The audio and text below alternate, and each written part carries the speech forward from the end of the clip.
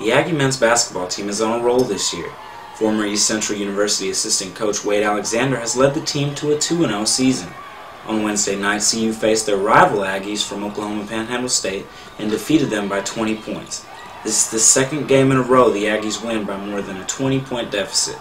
With such an effective offense, Cameron still needs some work on their defense. Well, we're going to have to uh, execute a little better on the next one play some better defense in the first half, uh, such as this uh, game we just played. Played great defense in the second half, but just didn't bring it in the first.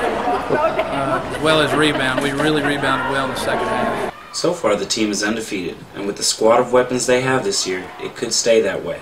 Dave Smith is the team's sharpshooter, with his ability to nail several three-point shots in a row at the most crucial time in games. He is the key to their offense, especially in the second half. Once this kid makes one, you better guard him, because once he catches fire, he's dangerous. Well, he, he brought us a good spark we needed at a time when we were uh, wasn't doing a good job scoring. Finally, he hit some shots. He didn't. He was one for five in the first half, and I knew we were going to miss them all. And finally, he uh, he hit a few and banged them down, and really got us going, and he got everybody uh, back in the game. And then we started getting stops, and, and that's kind of when our uh, run was. High flyer Jamar Burke is CU's hype man. His power and hang time makes it easy for his guards to set the ball up right next to the rim. Burke makes it look so easy. By far the biggest surprise and the most impressive player for the Aggies is number 13 from Apache, Oklahoma, Callan Glasgow. His numbers this season are incredible.